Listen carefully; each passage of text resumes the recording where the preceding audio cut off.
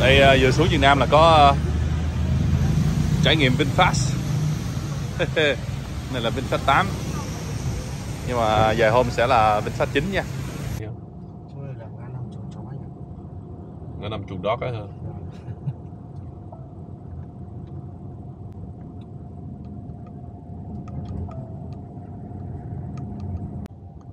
Này đường ra sân bay. Về Việt Nam lại đi tiếp đây. Hôm nay cả nhà đi uh, Côn Đảo. Giờ lấy hành lý xong rồi mình uh, vô check in nha. Bentley you ready? Mommy you ready?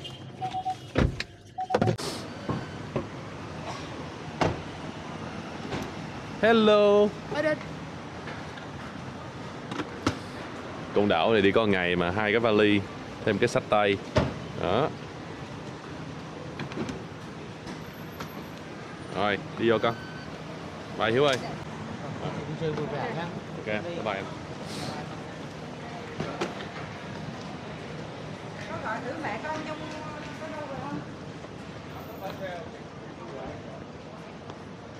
Ủa bấm bú đâu ta?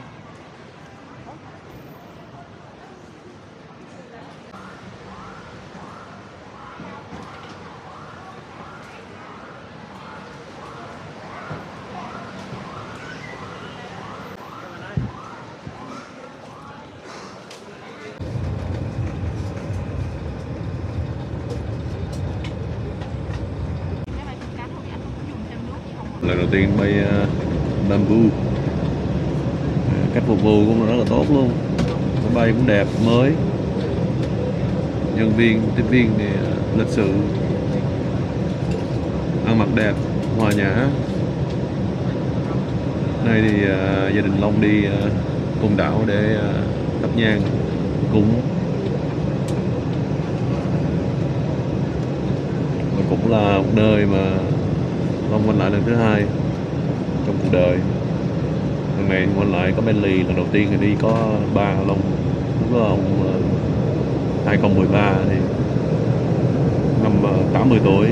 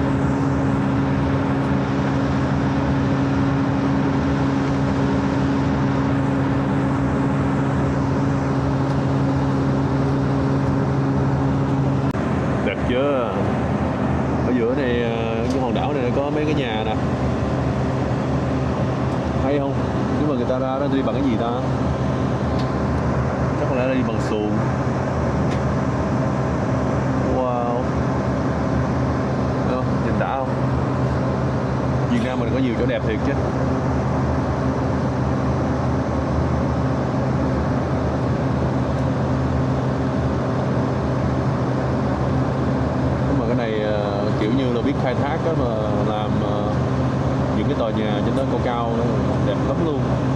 Giữa hòn đảo đẹp quá trời đẹp.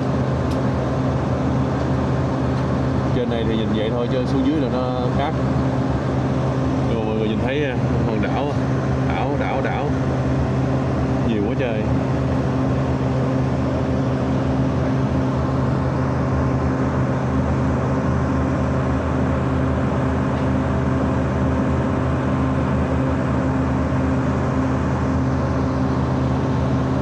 Mây cũng đẹp nữa. À. trời đẹp quá trời. Beautiful.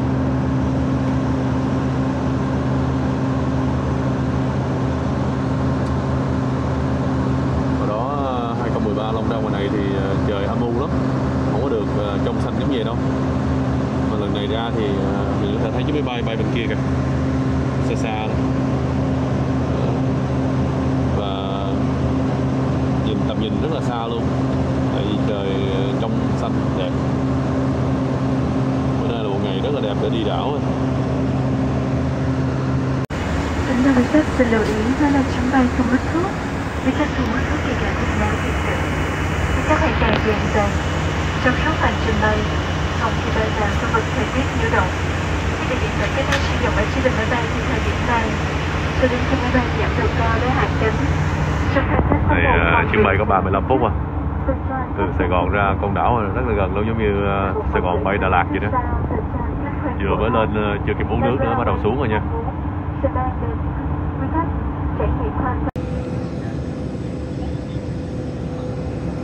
Đây là tới con đảo rồi. Nhưng mà đảo bên này là cũng một phần của con đảo chắc. Ờ, nhiều người ta đi có thể đi tàu cano qua đó để thăm bên đó được. Còn mình thì sẽ qua bên cái đảo này đây có cái đường đoạn đường thì lát nữa mình sẽ từ sân bay mình đi ra đây. Long nhớ là như vậy. Dọc dọc dọc theo đó để mình vô trong cái khách sạn của mình ở. Chuẩn bị đáp hay máy xuống.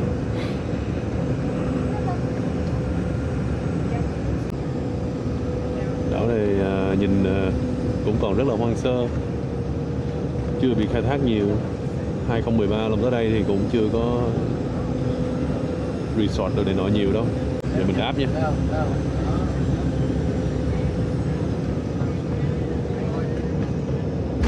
Ui à.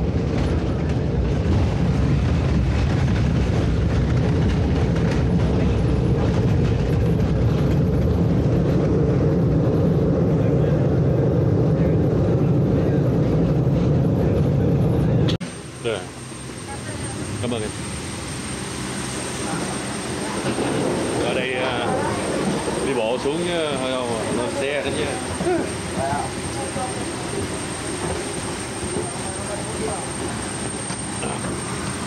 Là người đầu tiên xuống luôn. Người đầu tiên lên xe luôn.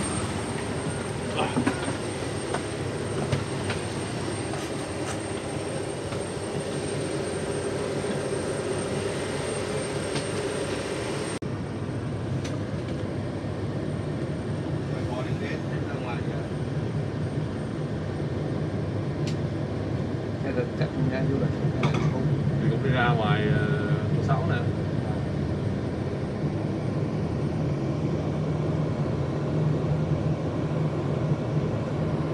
Xa lắm, lên xe vừa đi được có mấy ờ, mấy giây chắc 10 phút nữa là tới rồi. Đây.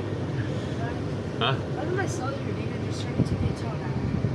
Yeah, it could be anything. Rồi, tới đây con, xuống đi con. We here.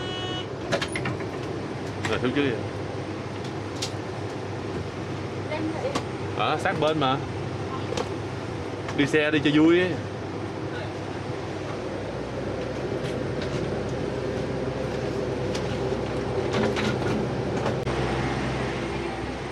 Có, có chờ lấy hành lý. Máy bay là vừa đáp xuống đó lên xe chạy tới đây khoảng chừng à, 50 mét giờ mình đứng đợi hành lý đây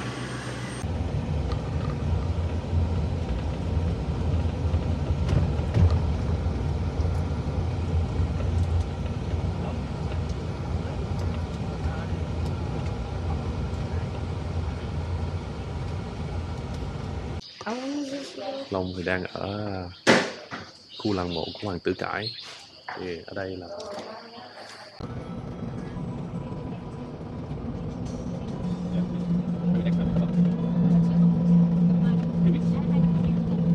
beautiful country, huh? Oh. Yeah, this is a beach. It is? Yeah. You see, people can go swim. Right there, my son.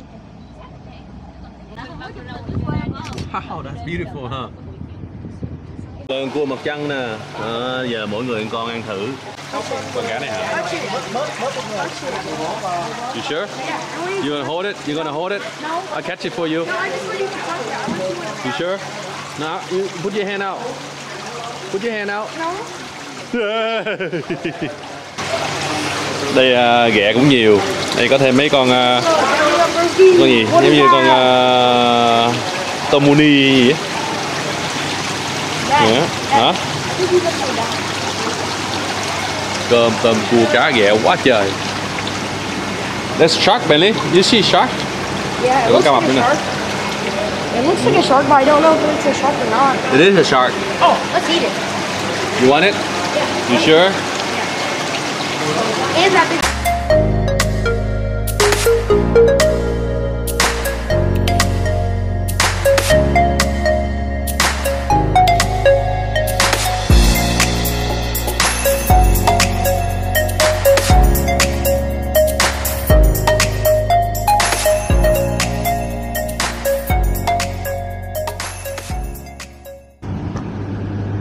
Có Bentley đi chơi và Bentley cứ ngủ xuống rồi. Mình đi à, nhà tù Côn Đảo để xem lại à, lịch sử. Hiện tại mình đang ở Côn Đảo đây, này Y Xuân hướng dẫn à, mọi thứ để mình biết thêm. Nhưng mà em mặc đồ ghê quá À, không sao.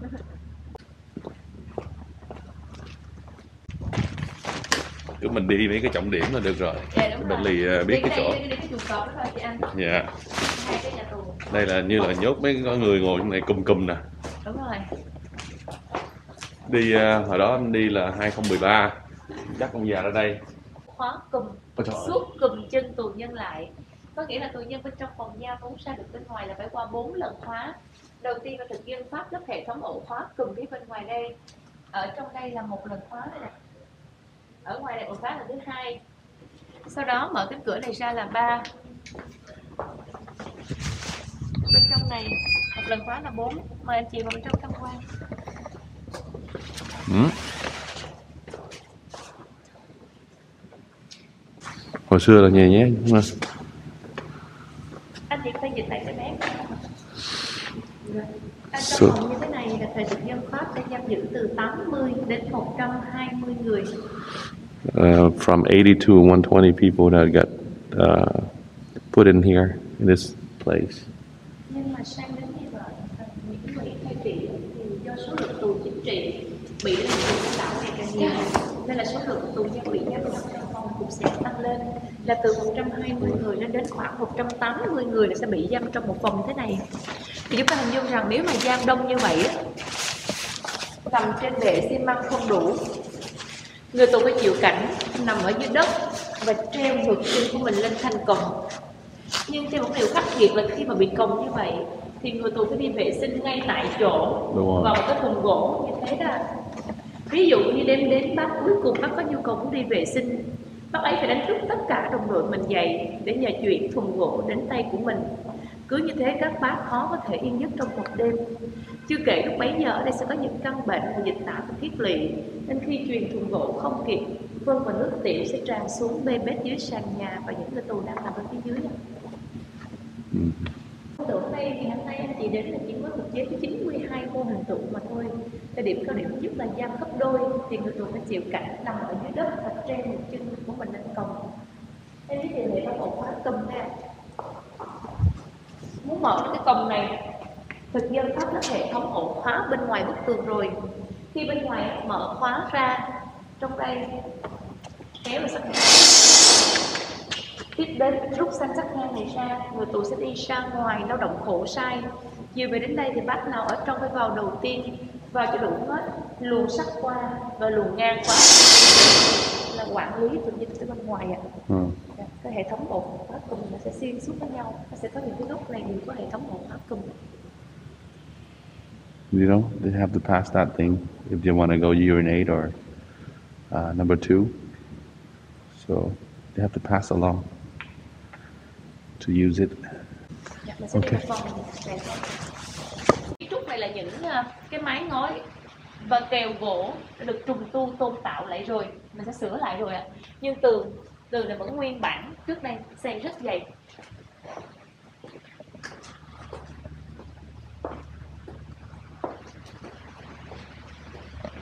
trại giam này sẽ bao gồm có 10 phòng giam tù tập thể à. nhưng mà do là kiến trúc của những phòng giam đều giống như nhau cho nên chỉ phục chế một hình tượng có một phòng thôi là phòng số 6 để đoàn đến tham quan dễ hình dung có thể anh nói với cháu có thể nó chắc chưa biết đâu nhưng mà mình nói rằng là nếu như trường hợp mà ngoại trừ bị giam giữ đánh đập tra tấn thì đây là một hình thức lao động khổ sai để mà giết dần giết mòn sinh mạng Sức lao động quá hả? dạ đúng rồi So this is what they torture them to uh, work. This is how they um, kill them slowly. So they have to to work uh, day and night to get the rice, and they drain all their energy. If they don't do it, look, they have all the sticks, and they're gonna whip them. thực dân pháp thì sẽ không có những cửa thông gió này đâu ạ bịt kín luôn phía trên đây cho chăn kín bao tời bằng vải đen lên. Trong một căn phòng kín mít như vậy, thực dân pháp đã bố trí là khoảng 5 cối xây lúa. Mỗi cối xây lúa làm bằng vỏ thùng rượu vang, cắt đôi ra và có lèn đất sét bên trong rất là nặng. Thì mỗi cối xây như thế này là phải mất từ 4 cho đến 6 người tù mới có thể kéo nổi. Bên cạnh việc kéo cối xay và vác lúa gạo, anh chị nhìn dưới chân tù nhân mỗi người tù phải xích theo một sợi dây xích và lê theo một hỏa tạ nặng từ 3 đến 7 kg dưới chân. Nên khi tù nhân mà bị phạt lao động hầm xây lúa này, họ rất dễ bệnh lao phổi, bụi sẽ bám vào trong người. Đây là một hình thức lao động khổ sai để mà giết tù. Dưới chân tù nhân chị nhìn thấy. See, not only that, but you see how they have chain on the legs. They can barely move because that thing is very heavy, and that's how they drain their uh, energy time by time, and they just die. Okay, thì mình. À, áp dùng cái từ là xà lim, tức.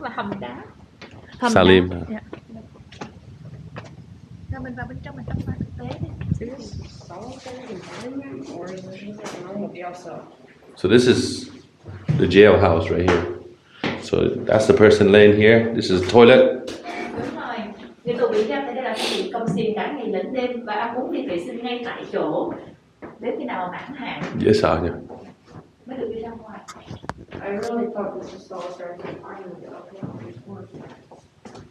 Cửa dày không? Cụ. Dễ sợ. Để xây vòng cuốn bên trong và cánh cửa xà lim mà đóng vào thì tù nhân sẽ cảm giác là mình bị chôn sống trong một cái nhà mồ và đây ạ toàn bộ hệ thống ổ khóa cùm vừa rồi Ừ. thì để phú hải ra muốn mở được phòng bên trong thì sẽ mở từ ngoài đây bên trong sẽ kéo chốt ra Khiếp. My ears. cho nên xà lim đơn á, anh chị xà lim đơn giam giữ một hoặc hai người còn xà lim đôi nha bình thường giam giữ từ 6 hoặc là 8 tù nhân six to eight people in here. This is where they put.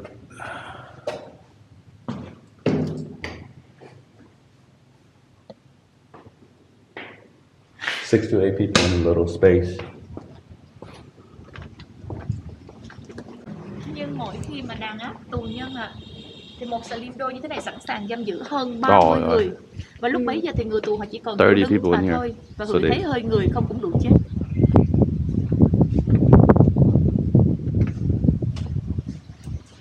Sixty-three people in here.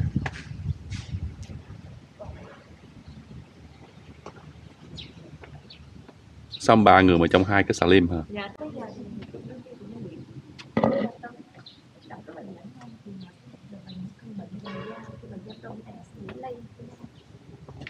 nguồn mật này rất là nổi tiếng ở Việt Nam chúng ta. Là cố chủ tịch nước tôn đức thắng. Tôn là một người tù đã bị bị giam ở nhà tù côn đảo này ròng rã suốt hơn 15 năm. Wow. chủ tịch những hỏa tạ đi bộ lên chân của ngọn núi chúa cách đây là khoảng 3 km để mà khai thác những tảng đá lớn đưa về đây rồi bắt người tù để đập nhỏ ra xây dựng công sở xây dựng hệ thống nhà tù thì vào năm 1908 cụ Phan Chu Trinh trong quá trình khổ sai đập đá tại nơi này anh có cảm tác lên bài thơ đập đá tôn đôn đã được đưa vào học Việt Nam.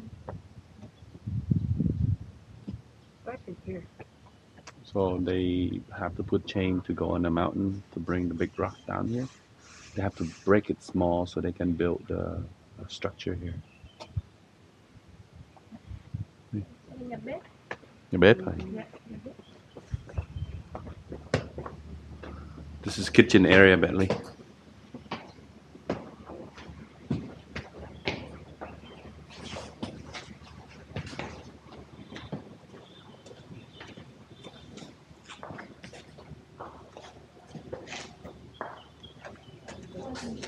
Rồi, tiếp tục.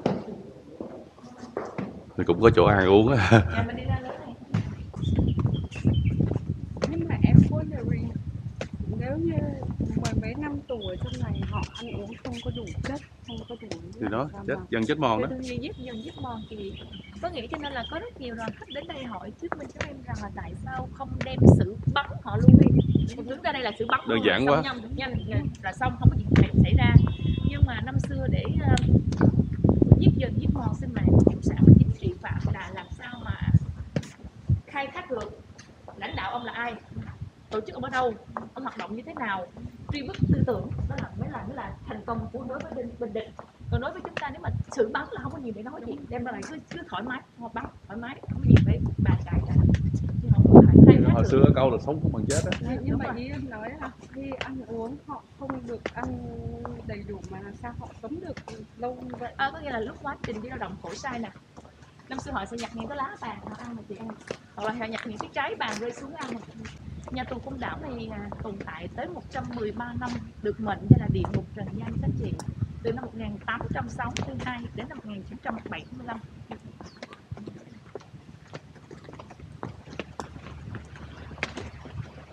ở đây kiến trúc này là nhưng mà nói anh mình sẽ sử dụng bằng cách đảo ngói đảo À. ngói mà qua một thời gian mà nó bị trùng nó xuống cấp mình sẽ trùng tu lại Cứ ờ, trên uống xuống dưới. đó có đảo ngói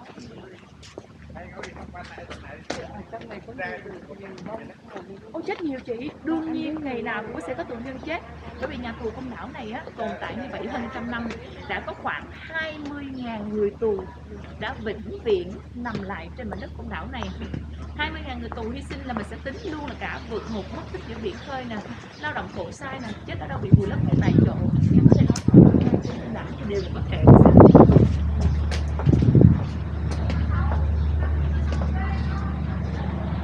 Đây mình đi chùa Cọp à Nổi tiếng, mình lên chùa Cọp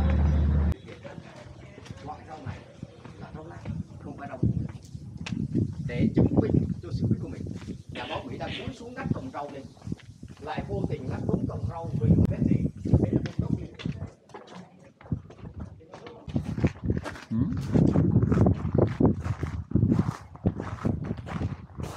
Chuồng cọp. Ờ là trên này mới mới nhìn thấy ờ, chùa Cọp? em lên đây là những người giải thích cho.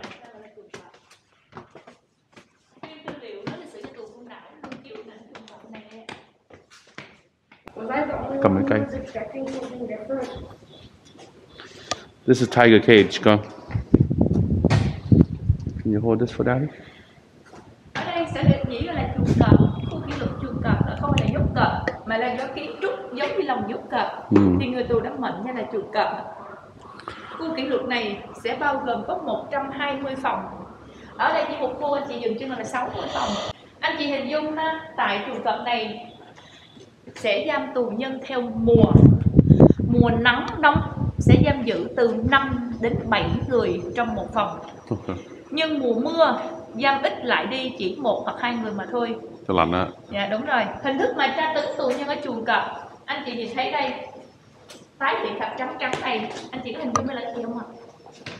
Muối, Dạ, muối không phải muối ạ. Đây là vôi bột, vôi để xây kiến trúc xây tường.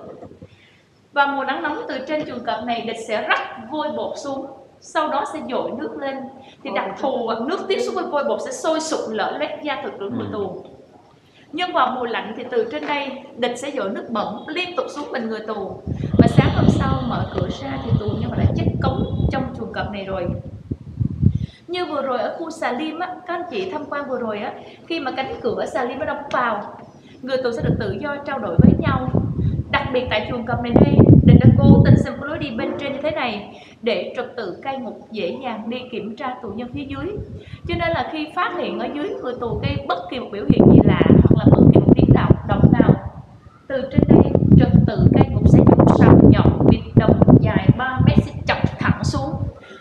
nhiều tù nhân bị toét đầu nát lưng bởi sào nhọn bịt đồng này đây là khu kỷ So lục ở this is where I'm talking about they cannot uh, kill the mosquito even that.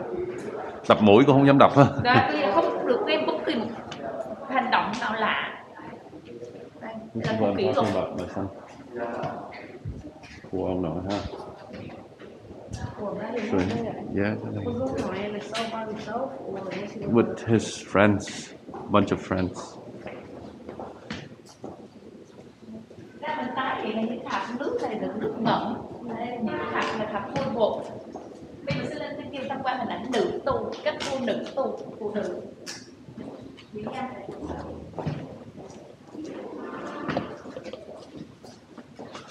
Cũng như là đây là khắp nơi đưa ra Đúng rồi. dạ, đúng rồi chị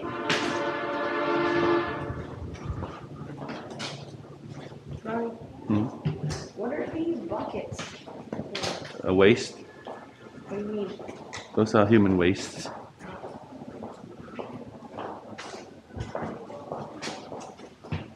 How did they even, how did it even have not even that bothers uh, So this is ladies. So this is the lady side? Yeah. đây là phụ nữ anh chị khi mà nữ tù bị giam tại chuồng cọp này là họ sẽ bị tra tấn giống như nam tù nhân có nghĩa là các cô họ sẽ bị tra tấn bằng vôi bột hoặc là xào nhọn bịt đồng hay là nước bẩn nhưng thêm cái điều đặc biệt đó là lợi dụng đặc điểm sinh lý phụ nữ ở đây mới không cho các cô quần áo để mặc không cho nước để tắm giặt. Thì bất chấp mọi nội quy khắc nghiệt trong nhà tù các cô phải đấu tranh liên hệ công khai với nhau. Và hình thức đấu tranh là các cô đã khô la và đã tuyệt thực. Và sau này à, các cô nữ tù chính trị công đảo quay về chiến trường xưa này đây họ mới kể lại. Anh chị hình dung rằng là đối với phụ nữ khi mà bị giam giữ trong lao tù sẽ có một điều khắc nghiệt hơn so với nam tù nhân. Là vấn đề sinh lý. Ừ. Các cô mới kể rằng mỗi khi mà đến tháng, họ sẽ phải thay phiên nhau, chính bản thân mình phải ngồi lên cái thùng gỗ, tức là cái thùng vệ sinh. Anh chị hình dung rằng lúc bấy giờ là nước nước không đủ để sử dụng. Các cô sẽ xé từ cái lai quần mình xé lên, lấy nước tiểu giặt lại phơi khô để sử dụng bên trong phòng giam. Một tình trạng vệ sinh vô cùng tồi tệ bên trong mỗi phòng lúc bấy giờ. Và sau này khi hòa bình lập lại may mắn được quay trở về thì đa phần các cô bị bệnh rất nhiều. Và thậm chí có những cô đã mất luôn cả thiên chức làm mẹ của mình. Bây giờ sẽ xuống đây mình thông qua một vòng hình ảnh các cô nữ cùng bị giam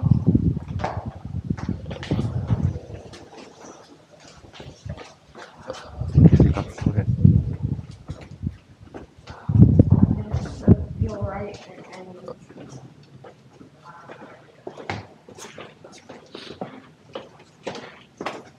đúng lẽ ra các anh chị khi mà tái hiện lại mình sẽ không có tóc bởi vì vôi bột các cô mới nói kể lại khi mà rắc xuống là nóng thì nó phỏng da nó lột hết da nhưng khi mà mình chúng em giới thiệu thì sẽ giới thiệu cho đầu mình biết thôi chứ mà để mà mô hình tượng không có tóc thì nó sẽ xem về vấn đề góc độ thẩm mỹ.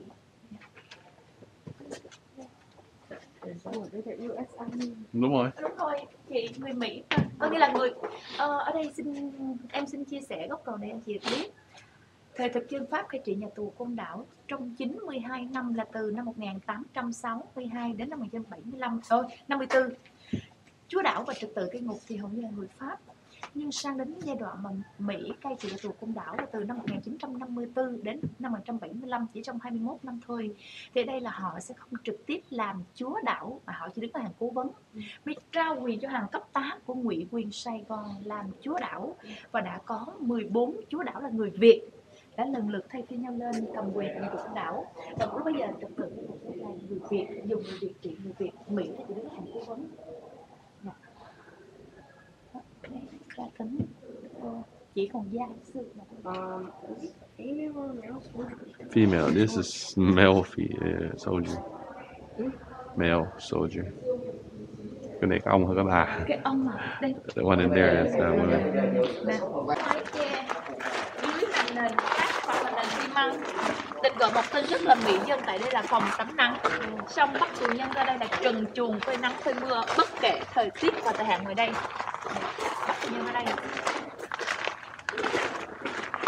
So you see this? Is roofless. So they want people to be uh, naked to be in here, regardless if sunny or rainy or cold or hot. hình dung tất cả những kiến trúc này là thực dân pháp cho xây Mỹ vẫn sử dụng lại. Nên những cái cánh cửa đinh tán rồi là cửa nguyên đó. Chúng em xin chống rỉ chống xét lại không bền nước từ giếng này lên dội bên trong phòng giam nghĩa là tắm các mấy, mấy bác bác mới kể rằng thì khi họ giam như vậy họ sẽ cởi quần áo của nhau ra và chặn lại cái, cái miệng cửa đó để nước nó khỏi bị tràn tràn ra ngoài. Các bác sẽ bắt lấy nước đó để sử dụng lại bên trong phòng giam. Cảm ơn Em lao tù đã bị bại lết. Và các cô ờ, bị giam tại hầm đá nổi chuồng cọp. Cô nữ tù là bị giam bị còng nhiều lâu ngày chị. Họ còng ở cái còng đó nó sẽ không máu không thông họ sẽ bị teo cơ tại vì rồi đó hả Okay. Để cố tình dẹp bỏ hai cái phòng tắm nắng đi và chuyển lên thành hai bệnh xá. Xây lên anh chị thấy có bác sĩ cầm cái mũi thuốc trên tay. Và sẽ bởi vì tra tấn tù nhân đánh giữa ranh giới vô cùng mong manh giữa sự sống và cái chết, chuyển sang tâm lý chiến. Bây giờ ông khai đi ai lãnh đạo ông ông hoạt động thế nào? Tổ chức ở đâu? Ông khai đi tôi sẽ có thuốc chữa bệnh trong đây. Mà ông mà đấu tranh mà không có thuốc này thì chết, có sóc biển nghe mà thôi. Giờ khai đi, để nhanh chóng về đất liền đi, về với gia đình và đợi ở trong kia. Nhưng chỉ một cái lắc đầu không chấp nhận ly khai, công khai ra, thì lập tức mũi thuốc sẽ bị bơm bỏ xuống đất và người tù cứ như thế nằm chờ chết. Nhưng vẫn xây lên là bệnh xá để chuyển sang tâm lý chiến. Không ai nơi chữa bệnh cho người tù nữa Trại Phú Bình.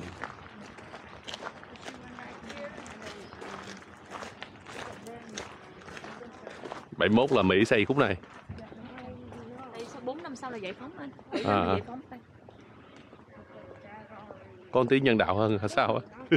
Đỡ hơn hả? xây rất đơn giản À. đây là khi bước vào chúng ta sẽ chưa thấy những phòng giam tù đâu hết mà sẽ thấy những công trình mỹ dân được đặt lên hàng đầu À. Là cái nhà bếp nè anh tay trái của em là hai kho lương thực thực phẩm tay phải em là bệnh xá. À, nghe thấy nhân đạo quá hả? Rồi, thấy nhân đạo. Cái bên trong là Mới ghê. bên trong tới 384 phòng. 184 phòng. 384 384. Dạ, chia làm 8 khu. A, B, C, D, E, F, G, H. Mỗi khu có hai dãy và mỗi dãy có 48 phòng. Kiến trúc nó giống nhau anh chị. Người ta qua một khu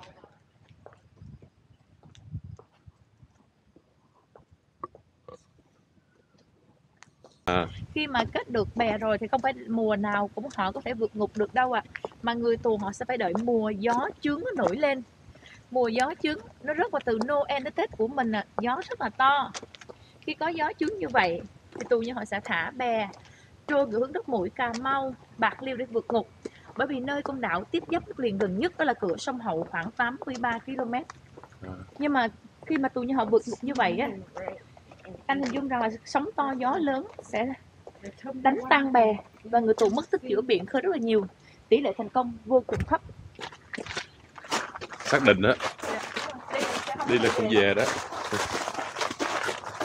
Kiến trúc của thực dân Pháp xây em thấy nó mát mà kiến trúc này Mỹ xây nè nóng vô cùng. À. cái tôn rơ xi măng này là cố tình xây rất là thấp. Mùa mưa không có bể xi măng nằm thì hơi đá sẽ bật lên lạnh lẽo bên trong phòng giam ra đấy rồi trúc này rất là dễ tốt dễ chứ ở đây kiến trúc này rất là nóng nha anh chị đây không cần xây bể xi măng để thực dân Pháp có xây bể xi măng này không mùa mưa kéo dài thì nó sẽ lạnh lẽo bên trong phòng này rồi I saw a huge animal. Was it a gecko or lizard or something? Animal, anh it's not like số đính chắc trong tường À. xưa thì mình làm gì mình can I go in front? Daddy, Huh? can I go in front? Sure. Yeah, stop. Let me walk in front. Mama got scared. There you go. ở đây chúng ta nhìn vừa vào là anh chị cảm thấy nó ngột ngạt ngột ngạt đúng rồi bởi vì tôn này là thấp nắng nóng thì hắt xuống nóng cực nguyên một ngày mưa ở đây không có bể xi măng nằm thì hơi đá sẽ tỏa lên lạnh lẽo ở trong phòng giam và mỗi khi mà tra tấn tù nhân lợi dụng vào mùa nắng nóng thì trật tự cây mục sẽ đi mở cửa để gặp những tiếng dập cửa nhiều lần. Và những tiếng dập cửa sẽ vang dội vào đầu và lồng ngực của người tù. Và có những bác cựu tù sẽ bị điên luôn bởi tiếng dập cửa. Ví dụ chỉ đơn giản này thì chị cô như thế này Đúng rồi. 384 phòng sẽ dập liên tục để tra tấn tù nhân đây chính là thức tra tấn người tù ở chuồng cọp Mỹ chưa cần tra tấn bằng đòn roi mà tra tấn theo kiến trúc của phòng giam. Chỉ cần đưa lên thế này cần này cái như thế này là nhẹ nhàng thôi là đã mệt rồi. That's how they torture people with the sound. Là rất là nhiều cái gì mà son ok. Đó đây là thức tra tấn cửa kín cửa này là đơn vị bên sơn chống rỉ chống xét bảo quản lại một khu này là còn có 48 phòng, nó có 8 khu như thế này là 384 phòng. cái sự linh hồn bạn cũng siêu thoát ở khu vực đấy. Bạn thích xe này? ờ, là một cái thời gian là bạn cứ nhảy đi xe mọi người bạn đi thôi. Là, là nhiều người nhìn thấy. Xe này có đi ngồi bao giờ chưa? Rồi anh gặp bao giờ chưa? Phía dưới là ngày xưa anh Em nổi da gà rồi đây! rút ra thịt ra Ồ, nhưng mà nhốt vào cái hầm phân bò đấy. Nó sâu khoảng 3 mét. nè, quỳ thuốc nè. Ông bỏ qua thầy thuốc luôn mà ông đang, ông đang kìa Đường kìa Nó sẽ ăn da, hư da hết nó hoại tử vết thương. Và tù nhân sẽ từ từ chết nếu không có quyền. Mất tin thiệt á. Đây là buổi sáng thứ hai ở cồn đảo đây. Long uh, và Bentley xuống ăn sáng buổi sáng nè ở đây ngồi ở ngoài nhìn ngắm cảnh quá đẹp để uh, chuẩn bị cho một ngày mới. Ở đây là The Secret. Cực kỳ đẹp luôn nha. Um, ở đây có cái Infinity Pool nhìn thẳng ra ngoài là có biển. Đó đây là khuôn viên ở bên trong khách sạn cũng đẹp lắm. Nhưng mà có dịp thì Long sẽ quay cận kẽ hơn. Bữa nay thì uh, chuẩn bị ra sân bay rồi nha khi ờ, đi ờ, mấy cái tù xong rồi giờ mình đi chơi đi biển nè Uh, is uh, it's 1560? yeah, go go go cha mày Alright, now do it to me. Do it to me. hold it you have to hold it I know. you ready I suppose.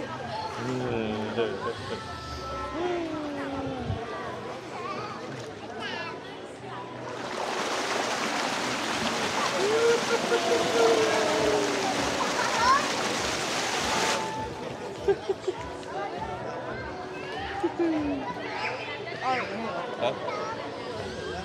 I'm out.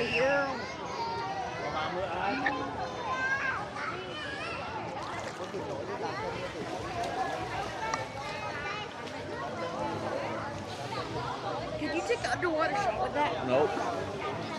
Why are you even here with it?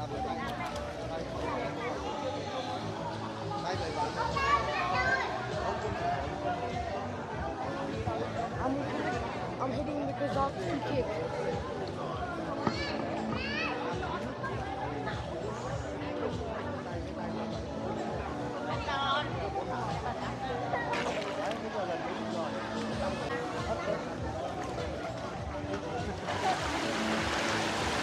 ha ha.